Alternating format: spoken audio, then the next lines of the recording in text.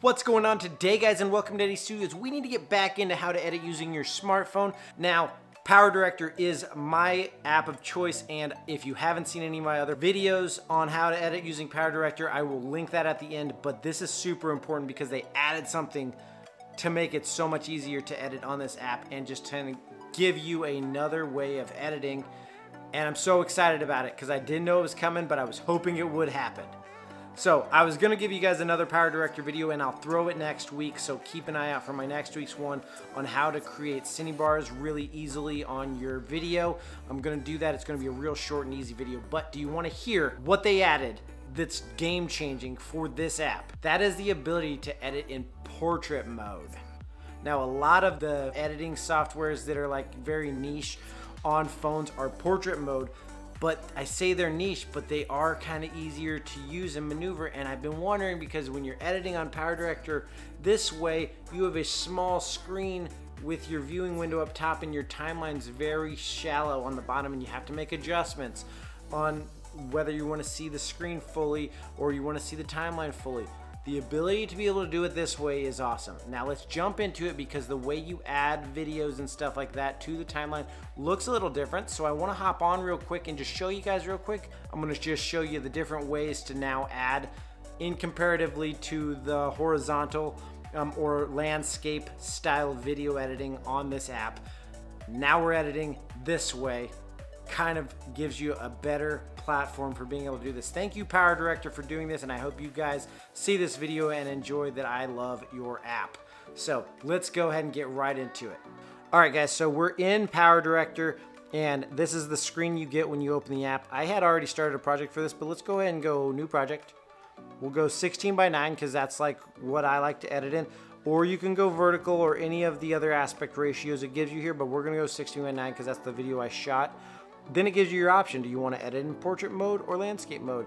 And you might think if I'm doing a 16 by 9, I'd want landscape mode, but I don't. Like I like to, even if I'm doing 16 by 9 wide, it's still cool to do this portrait mode. So we're checking it out, guys. I wouldn't hit the don't show again because I'm not sure where you're going to want to be able to switch which one it opens up in once you hit that.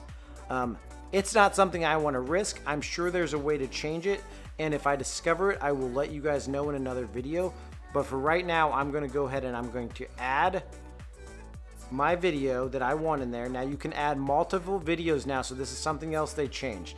So now you can add multiple videos and they show up on the bottom here. So I'm just going to add them in just because we're not going to use all of them. But if I wanted to, I would add all of them. I would hit the check and it would add them all to the timeline in order that you add them in down there then you can make changes once you're in the timeline. We're just gonna add this one video right now.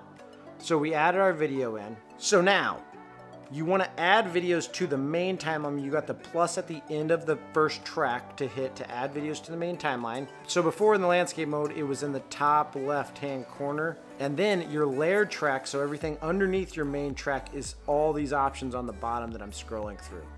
So those were all there before, but they were to the top left of your screen in the portrait mode um, uh, or in the landscape mode. I keep saying portrait mode because I'm so excited about portrait mode, guys. All right, so basically you can add photos, you can add the color board stuff, which I love to use color board for some tricks, and I'll use the color board in my trick next week. Um, you can add your audio. It lets you do. It adds sound effects, or you can use the ones I've already downloaded. You can do animals. All these options. Um, same options you have in the other one. Um, I like that it gives you a little drop up bar above it. So like music, voiceover, then you got your stickers. I like that the stickers pop up on the bottom and you still see your screen. So like I can switch what it is and then you slide up to go down through the different ones. So like new special effects, decorations, you know, you have all the same options. So these are all, what happens over here? Does it go to the end? No, I don't know what that arrow's for because it's not doing anything. Oh, it just kind of skips over a full page. It's like a page over arrow. Ooh, I like these interface ones. I don't know that I've come across them before. All right, I'm getting distracted. The box to the right brings out to full screen. Then tap on the screen, hit the back arrow to go back. And now you have your timeline. I wonder if you layer a bunch in your timeline. I'm just going to, for shits and giggles, if we can say that, add some stuff to the timeline here. I'm gonna add more. I just wanna layer it down real quick just to see how uh, wide the timeline gets. So it just kind of gives you a scroll. I wanted to get it past our height, but I like this height of the timeline now, guys. Like, it's nice to have a tall timeline. All right, that's all I'm showing you about it today. All right, what do you guys think? Let me know in the comments. Would you prefer portrait editing or landscape editing on a phone? What's more convenient for a phone? For me, it's gonna be that portrait editing. I've loved PowerDirector to this point, but that change made me love it even more. And the fact that I could switch between the two makes me love it even more because I haven't come across another app that lets you do either or. And with everything the PowerDirector has to offer and giving me this, boom, thanks guys, this is the best. But leave a comment, let me know your thoughts, and if you enjoyed this video, smash that like button, subscribe to the channel, and let me know in the comments what else you'd like on PowerDirector and mobile editing stuff. And guys, until next week, please go check out the rest of my PowerDirector playlist right up there and shoot something awesome. Edit it on your phone and upload it because you should always share what you're making so that people can support you and so you can see your artwork going out there. Peace out, guys. See you next week with another video. See ya.